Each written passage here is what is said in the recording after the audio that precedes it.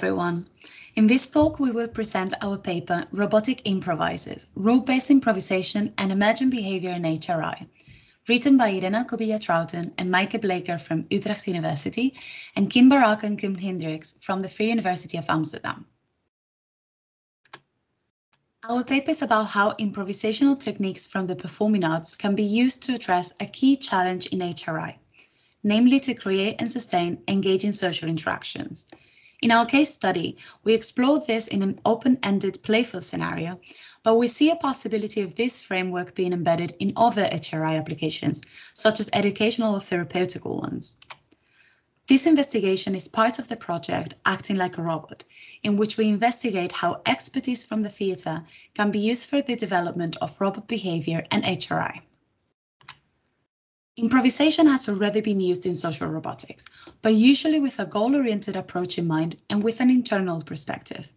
That is, most projects understand improvisation as based on the existence and later on expressions of internal states, and their goal is to correctly express such states. Furthermore, most of these projects are also based on human models of doing things. But we propose a different approach, Firstly, we're interested in exploring rule-based improvisation methods, a type of improvisation that has existed since at least the second half of the 20th century, and where choices are made in the moment and according to sets of rules. The rules of this type of improvisation offer a more emergent approach, rather than goal-oriented, as they provide a set of possibilities for movement to emerge in response to an input, and also an external approach, rather than internal, inasmuch as said rules do not rely on a mandatory expressive component, which has to do with internal states of the improviser. The external and imagined approaches combined are the least explored in social robotics at the moment, but as we propose in our paper, they are the most interesting to further develop. The rules that are part of rule-based improvisational methods bear resemblance to rules of play, because they do not necessarily deal with the communication of a message, but focus instead on how to be responsive and maintain engagement.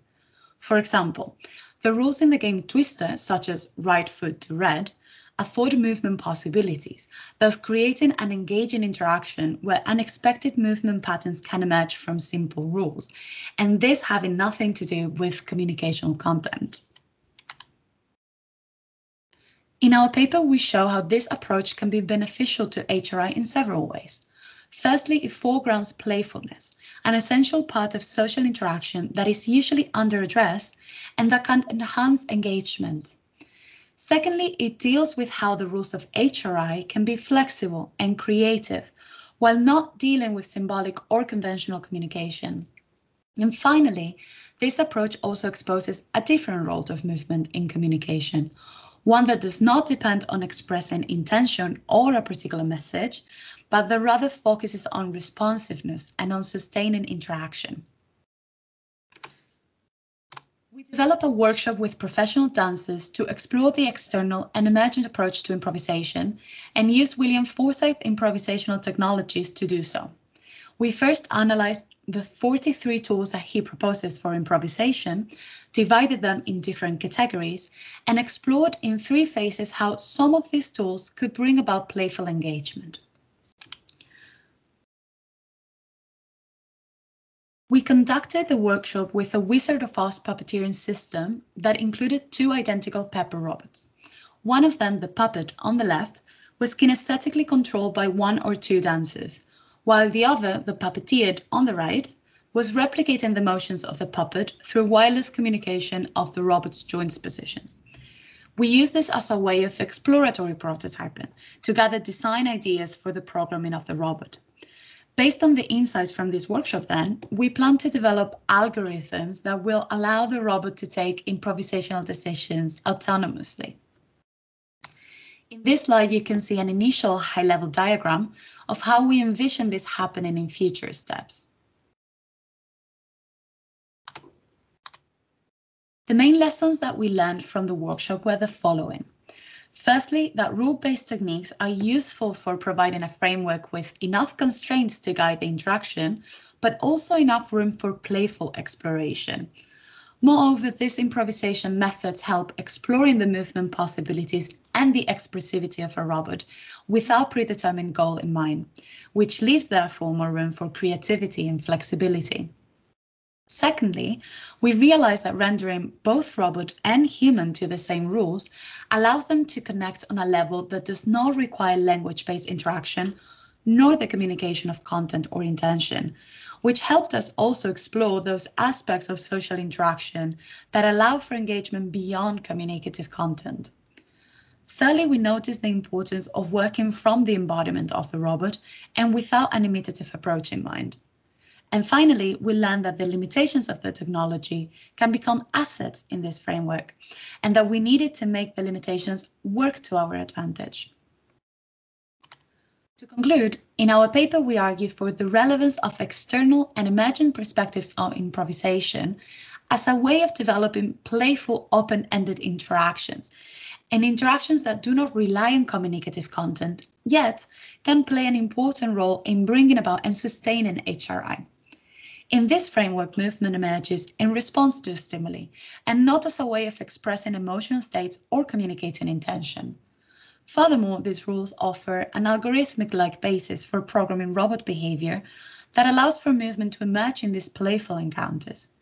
For now, we assume that random selection of such parameters can create rich enough behavior, but in the future, we would like to investigate more complex decision-making algorithms to guide the improvisational choices, and to do so also in collaboration with improvisation experts. Thank you so much for listening.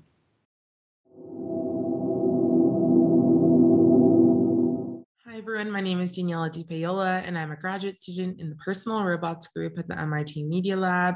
I'm excited to be sharing some of the work that I did alongside Anastasia Ostrowski, Rylie Spiegel, Kate Darling, and Cynthia Breazeal with you today, and it's titled Children's Perspectives of Advertising with Social Robots, a policy investigation. So I want to start off by talking about Astro, Amazon's new robot for the home. Astro is different than other smart speakers that Amazon has created because it's designed to be an embodied character. It has eyes and it traverses around one's home. And so with Astro, this kind of begs the question, what does it mean for a consumer company to have a robot that's active in our homes? I think we can go back to some of um, some of the core techniques that we use in our field, personalization and persuasion. We know that personalization can lead to trust and rapport, and therefore allowing users to accomplish incredible goals. And by the same token, persuasion has also been known to lead to believability, as if a robot was not persuasive, it would not be able to help the user accomplish its goals. And in our fields, we've largely used these techniques to help people accomplish really positive goals, such as learning outcomes, managing one's health, um, but you can imagine that there's new challenges that come up if we start using personalization and persuasion in advertising. And this is especially relevant given that consumer companies who largely rely on advertising for their business model are now starting to use technologies such as social robots. And even further, when we think about advertising in the home, we want to be mindful of children who can be especially vulnerable given that years of research has shown that children under the ages of 12 years do not fully understand the intent of advertising. And so the research question of this project is, what are children's preferences for how social robots should advertise to them? We do this by introducing students to types of legislation around social robots. And part of that legislation can be related to the advertising capabilities of a robot. And so to do this, we give students many different types of laws, and they're required to pass or not pass these laws. We focus on lots of different topics in the toolkit at large, but for the sake of this paper, we'll be focusing specifically on advertising. And so I'll share the cards that students were um, required to sort. The first card says that robot, robots cannot advertise things to users. The second says that the company can advertise things to the user through the robot. So it has to be explicit. We're talking about transparency here. And then finally, robots can advertise things to the user through casual conversations with the user.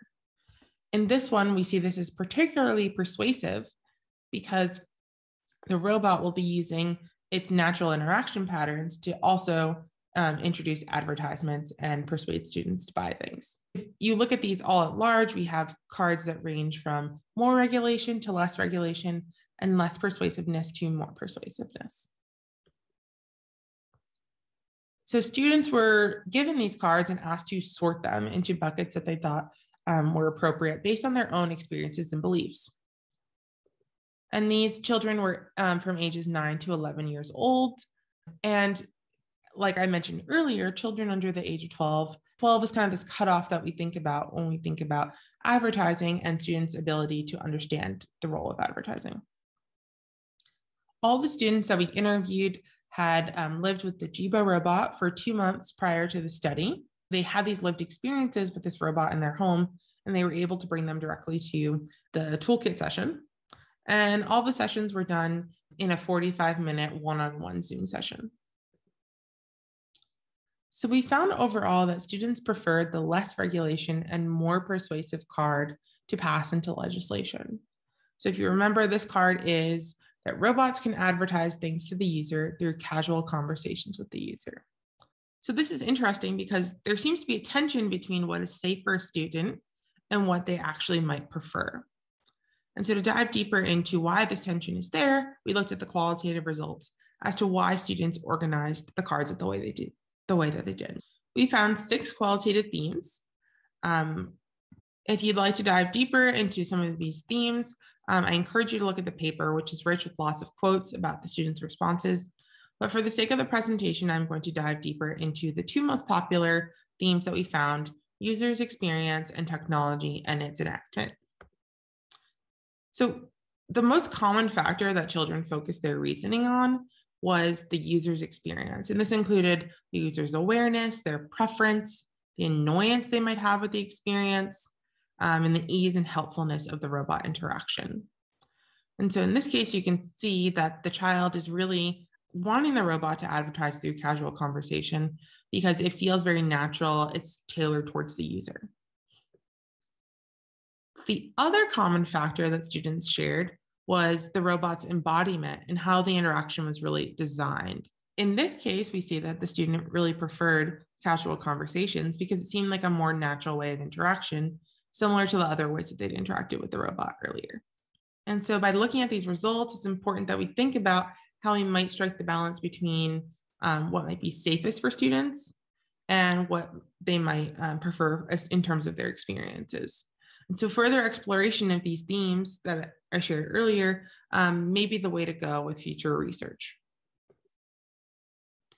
So in conclusion, I want to share some of the high level points that we're making in this paper.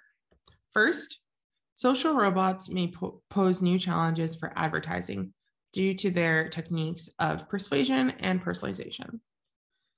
Secondly, children with social robot experience advocated for advertising policies that support less regulation and more persuasiveness. This is a tension between what is preferred by the child and what might be safest for them. And so the themes that we found in this research may be important for future exploration of this topic. Thank you so much. My, again, my name is Daniella, and I'm happy to answer any questions in the Q&A session or over email.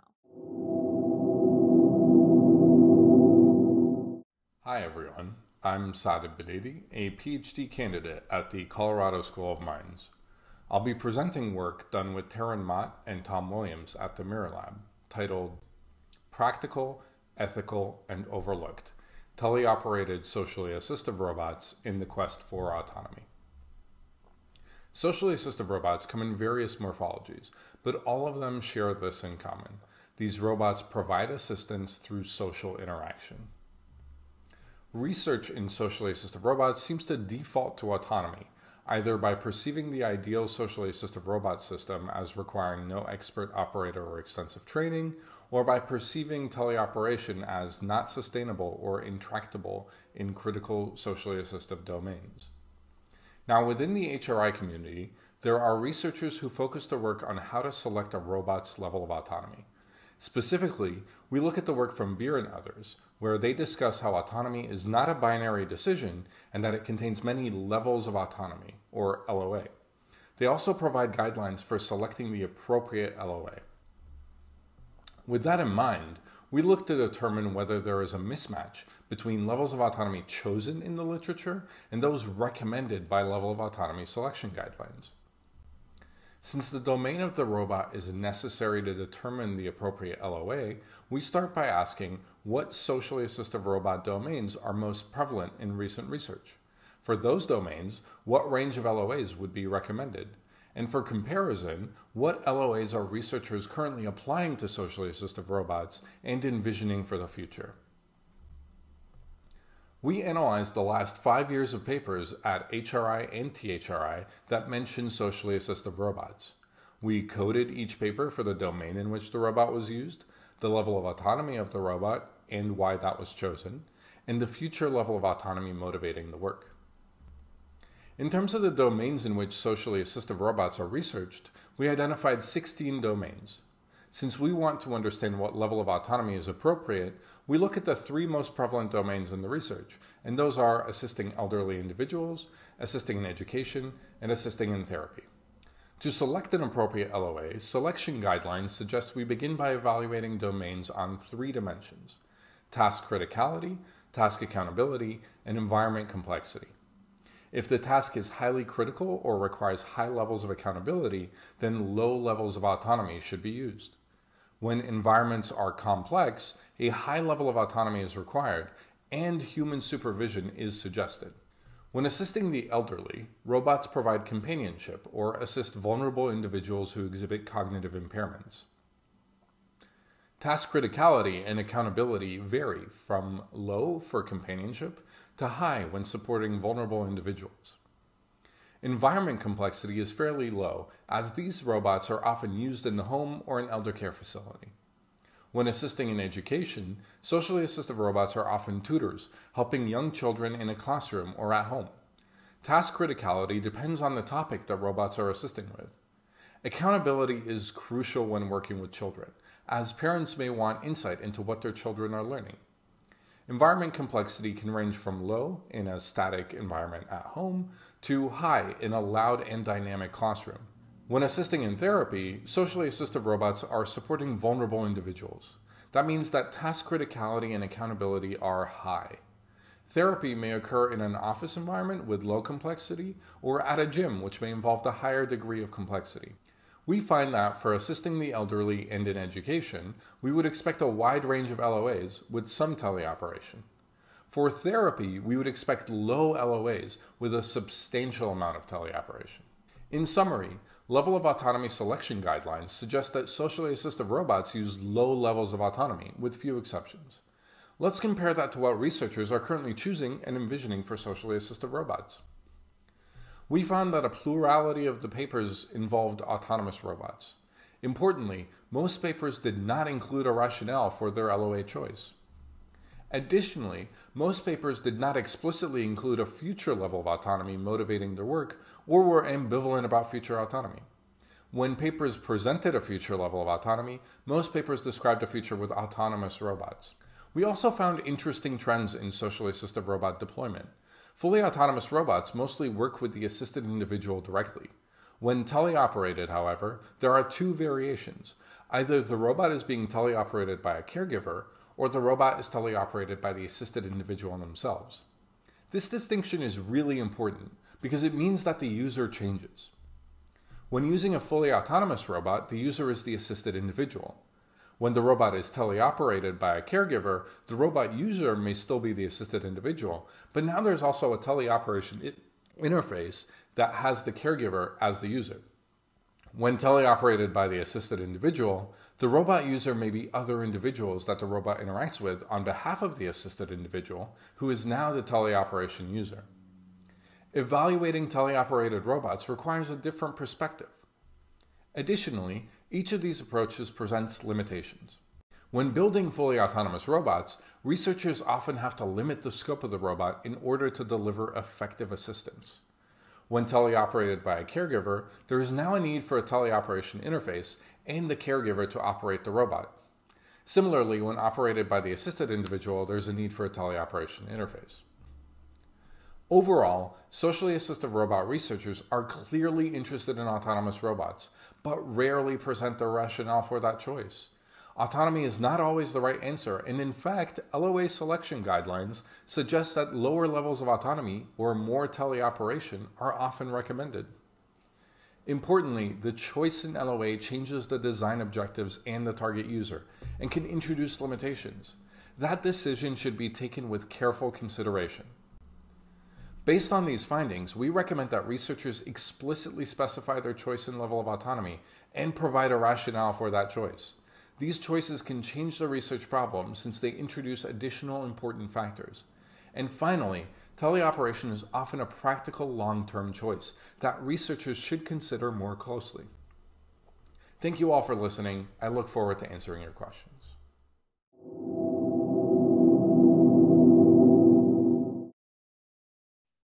Hello, everyone.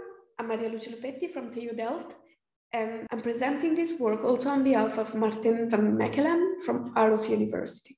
Our work is about robot deception, and specifically the fact that appearance and or the way a robot is programmed to behave creates the illusion of sentience, emotional capabilities, ability to care or understand humans. Robot deception is seen generally as a beneficial or even necessary strategy to achieve positive and successful HRI, yet some also argue that deception can lead people to overestimate robots' ability to understand the world and situations, and consequently delegate decisions and actions that would significantly impact the quality of human life. So we think that to deal with these concerns, we should promote critical thinking. In particular, we should nurture critical mindsets. Critical thinking, in fact, is a learning process where one has to engage and evaluate with pros and cons of a given topic as a way to establish a truth, to transform information and generate new ideas. This is not a novel topic in education, but is relatively underexplored in educational robotics. And this is where our work focuses on. We specifically engage with the question of how can a social robot foster critical thinking and how can it make children reflect on what robots can do and how they relate to us. We engaged a class of 20 children from a primary school in an activity that was explicitly inspired by the philosophy for children approach by Matthew Lipman. This uh, approach started in the 70s and grown in popularity over the years and is specifically aimed at improving children's reasoning abilities and judgment.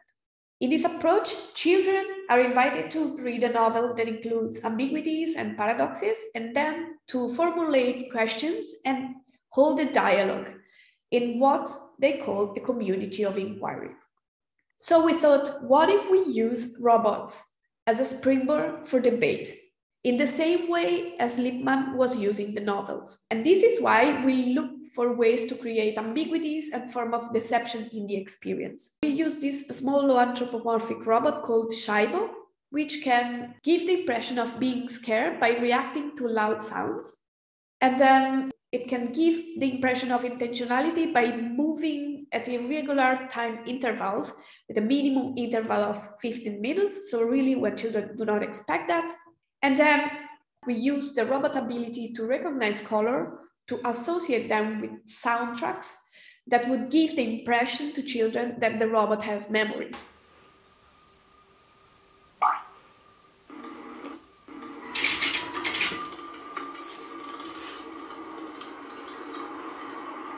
And then we engage children in an activity focused on analyzing and discussing the robot. This activity was composed by several steps that were facilitated by what we call the robot analysis form.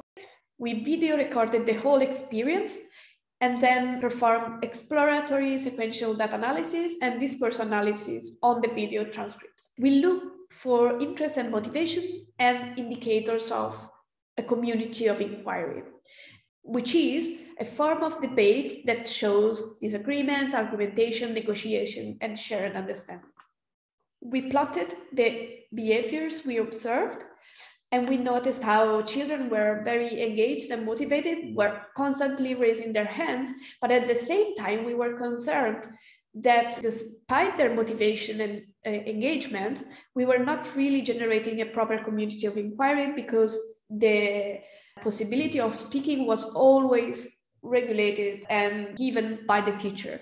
And we summarize this as the talking norm. So the act of raising the hand, being named by the teacher, and then speaking. So there was no free flow of opinions and ideas. Yet we could also notice some breakings in the talking norm. Specifically, when the robot was showing some unexpected behaviors, children started to stand up, talking, discussing in a very unregulated way and in a also noisy way. But we consider this a very positive indicator that the experience could really foster a free exchange and expression of ideas. And it was really interesting to see that this was emerging, especially when the robot was showing the deceptive behaviors. Furthermore, when we analyzed the discussion transcript, we could also notice how children were expressing disagreement and also building on each other ideas. So we actually noticed the qualities of discussion we were looking for, so divergent thinking and shared understanding. To conclude, this experience shows how a robot can foster critical thinking and more specifically promote reflections on what technologies like robots are and what they can do and how they relate to us.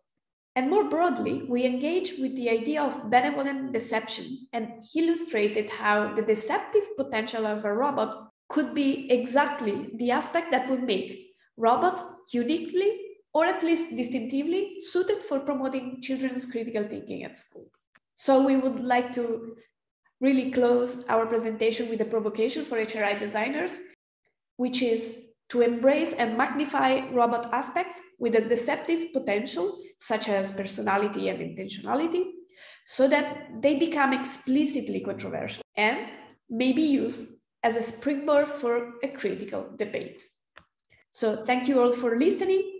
And please remember, this is just a teaser. Go through the paper, there is much more.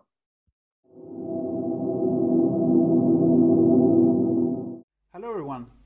Today, me and my colleague Laetitia will present to you the paper Gender Fairness in Social Robotics, exploring a future care of peripartum depression. We are a multidisciplinary team of researchers from two Swedish universities. From Lund University, we have Laetitia Tanqueray and Stefan Larsson. And from Uppsala University, we have Ginevra Castellano, Mengyu Zhong, and myself, Tobiaz Paulsson. Now Laetitia is going to present to you the aim of our paper. So, the aim for this paper was to bridge sociology of law and HRI in order to understand how socially assisted robots could screen for peripartum depression. So we conceptualized gender fairness within this interdisciplinary setting, whereby gender fairness is a principle according to which socially assisted robots are designed following a gender sensitive approach. And so for this, we needed to inform the design on what that meant. But first, what is peripartum depression? So it's a depression that can occur anytime from conception up to one to two years after the pregnancy. It is said to affect 20% of women. However, 69% of the cases are said to actually go undetected. So for this paper, we decided what if a socially assisted robot could help with the screening stage, since peripartum depression must be diagnosed and thus screened. So we wanted to do so, accounting for gender and governance aspects when developing this robot. So for our research questions, we wanted to explore gender norms in the PPD context and how social assisted robots could challenge the current medical practices. We also investigate how gender fairness could be integrated into the design of social robots for PPD screening, and what relevant governance aspects should be taken into consideration to ensure gender fairness for social assistive robots. Our approach was to conduct interviews with domain experts. These were PPD experts and gender study experts. We conducted interview with eight participants through online video calls. The interview procedure were divided into three parts, where we first asked questions about gender norms in current practices, then we presented a text vignette with a fictional but realistic scenario to set the scene. And then we showed a video demonstration where the robot would interact with a fictional patient. After that, we asked questions on how to challenge gender norms in robot design for PPD screening. And lastly, we asked questions relating to governance aspects, such as what data should a robot have access to. Here you can see a snippet of the video that we showed to our participants, where one of our researchers were acting as a patient. The robot we used is the second generation Furhat with the latest SDK that includes the face core functionality. This allowed us to craft a rapid prototype with human-like features. Now Laetitia is going to present to you the results. So, turning to the results. After we qualitatively coded the results, we found four different uh, themes. So the first one was around negative gender norms within peripartum depression.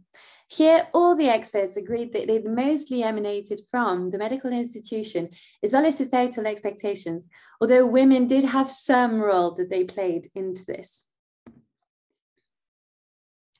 A second theme we found was around challenging peripartum depression processes with socially assisted robots. But we found very much polar opposite views on this. So, turning to peripartum depression experts first, they viewed the robot as an ally, as something that could actually review the current processes and question it, but also deviate from the usual procedure, such as having more time with the patient, but also, the socially assistive robots could very much be integrated within the workflow. Whereas in contrast, the gender studies were much more critical of this robot. They were very much of the opinion, what are, what are we reproducing here?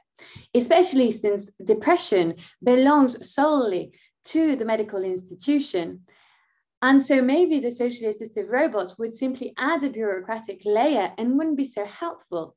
So maybe if we want women to talk more about how they're feeling, then this could be done outside of the medical institution with such a robot. Then our third uh, surrounded the HRI design and how we could inform it. So turning to the robot's behavior, PPD experts focus much more on the verbal aspects, such as the robot agreeing or repeating the patient, whereas gender experts were very much on the non-verbal aspects, such as mirroring or showing empathy through body language. However, turning to robots' appearance, all of a sudden, it wasn't so much about expertise, but more about the experience. And they found that it was important to personalize socially assisted robot in such a way for the patient to feel more at ease. But also, this may be that the robot should look somewhat human, but in a synthetic way. And then finally, with regards to uh, robot governance and gender fairness, when asking our participants if the robot should have access to data about the patient beforehand, PPD experts had very mixed views overall. Um, for them, maybe another form would be to ask for medical background, um, but also train the actor, train the robot on access so that the robot could learn about the nuances of talking about such a sensitive topic. Gender study experts, on the other hand, were adamant that the medical records were quite biased to the medical professional themselves. So maybe instead the socially assisted robots could ask questions directly to the patient. But what should really be reflected upon is the design stage on the values, what values are important.